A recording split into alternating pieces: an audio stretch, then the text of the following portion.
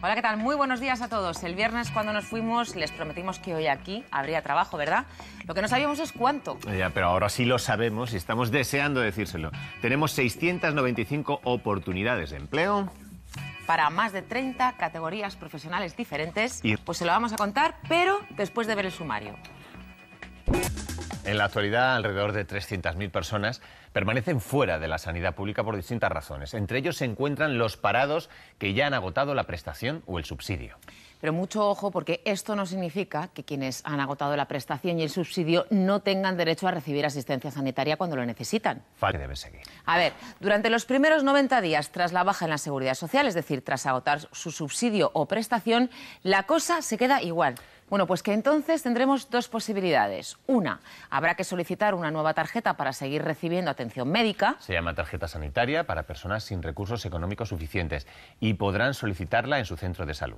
Mientras duren los trámites, el centro les asignará un médico y una vez resueltos recibirán una tarjeta individual para usted y para cada uno de los menores o incapacitados que estén a su cargo. Exice a la seguridad social. O sea, que a día 28 de noviembre la atención médica está garantizada sí o sí. Y lo mejor es que será universal a todos los efectos y sin distinciones a partir del 1 de enero de 2012, que es la fecha en la que va a entrar en vigor la Ley General de Salud Pública. ¿Queda claro? Bueno, pues vamos ya a por el empleo, que es lo que hace falta. Y aquí están las primeras ofertas del día para poder seguir funcionando. Y cuando decimos profesionales es porque estos trabajadores ni se disfrazan ni acosan a los morosos. Así es que muchas veces no hace falta perseguir a nadie para llegar a un acuerdo amistoso. Vamos, es que cuando no hay dinero, si es que no sirve de nada ni perseguir ni nada, si es que no Pues hay no, dinero. la verdad es que no. Pero bueno, para que haya dinerito en muchas familias, vamos a seguir con lo nuestro, que son las ofertas de empleo. Y aquí hay más. Bueno, pues ya lo ven, prepararse a conciencia una oposición tiene ventajas hasta cuando no se aprueba. Pero no seamos conformistas, porque lo grande es aprobar. ¿Quieren intentarlo? Bueno, pues atentos al siguiente vídeo. Mamma mía, qué señoras becas os traemos hoy. Para subvencionar el 50%... Por... ¿Les ha dado tiempo a tomar todos los datos? Pues mm, supongo que no, porque es que son muchísimos y los tienen todos en nuestra web esperándoles en www.rtv.es barra aquí hay trabajo. incluidos los datos de las 695 ofertas de empleo que les estamos presentando hoy. Y aquí están las últimas del día. Los emprendedores y sus sueños de convertirse en empresarios van a protagonizar los siguientes minutos. Y para ayudarles a que esos sueños se hagan realidad, contamos como siempre con la colaboración de Antonio Sancho, que es consultor del Consejo Superior de Cámaras de Comercio. Muy buenos días, Antonio. Muy buenos días. ¿Empezamos? Claro que sí. Pues venga, vamos a darle paso a Carlos. si, si hay más ayudas. Bueno, y pues- bueno, es un poquito eso una historia. Pues es un proyecto precioso, ¿eh? A ver qué nos puede aconsejar Antonio. Desde luego, Carlos. Eh, bueno, eh, ya es un barco donde Yo pueden dormir no, ocho perso- personas y ya es vela, sí, ya es un, pues son Vale. 7 toneladas de barco y sí, es un barco grande. Sí. Bueno, te lo decía por... Lo tengo que reparar, pero que bueno, es, reparar. es un casco de acero, entonces eh, la reparación no es mucho porque es hierro, eh, acero y bueno, y lo hago yo, que yo entiendo de Estupendo. soldadura y todo. Entonces es tiempo, lo mismo que el... ¿De acuerdo? Carlos, pues Sí, mu- sí. muchísima suerte con este proyecto, porque además eh, para embarcaciones de recreo y para organizar fiestas a bordo, pues la verdad es que no hay mucho negocio, porque el otro día estuve yo buscando, te lo digo por eso. O sea que Ajá, muchísima no, suerte. En, Gal- ujú, en Galicia está un poco en las rías bajas, pero aquí en Coruña no, no, no, no hay casi nada. Bueno, pues, pues estupendo por ser pionero y mucha, mucha suerte, ¿de acuerdo? Venga, gracias. Hasta luego.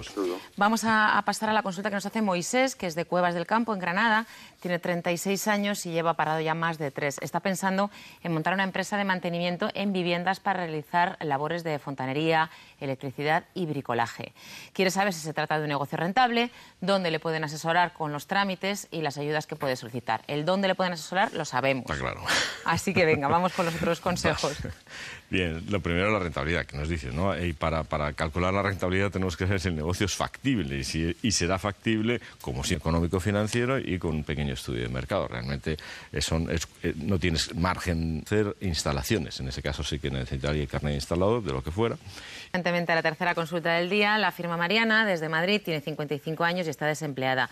Quiere abrir una librería rumano-española. Su intención es alquilar un local en una cooperativa por unos 500 euros mensuales que se encuentra cerca de su instituto, de un instituto, perdón. Pero le piden de entrada 4.500 euros. Lo regentaría, nos cuenta, junto a su hijo de 20 años que también está en paro y le gustaría saber a nombre de quién le convendría abrir la librería, cuánto le va a costar y a qué ayudas puede acceder. Lo de los 4.500 es un poquito exagerado, ¿no? Sí, sí, es bastante exagerado. Y lo de los 500 me parece que también. Entonces, Nos queda un minuto, Antonio. vamos muy rápidamente, productos típicos romanos, eh, eh, relaciones públicas, agencia de viajes, en fin. Bueno, pues Hay un una contacto serie de donde se cosas pueda que se asesorar. pueden hacer muchas cosas. El contacto es la cava. Que Mariana tome nota y que explote su vertiente rumana y diversifique el negocio y Lo así más posible, terminamos. claro que sí. Antonio, muchísimas Gracias a vosotros. Informado de las mejores becas y convocatorias. Más importante de todo, hemos ofrecido trabajo a quienes lo buscan. Y- De empleado de hogar, de enfermero, de peón ganadero. En total, 695 oportunidades de empleo que ya les están esperando en www.rtve.es barra aquí hay trabajo. Y la que más, la que más, la que más, la de empleados de servicio doméstico para trabajar en Madrid. Pues ojalá se hagan con esa, con otras, las del día, las de mañana, porque mañana, como siempre, Aquí habrá trabajo y les esperamos. Que pasen un buen día. Hasta buen mañana. día.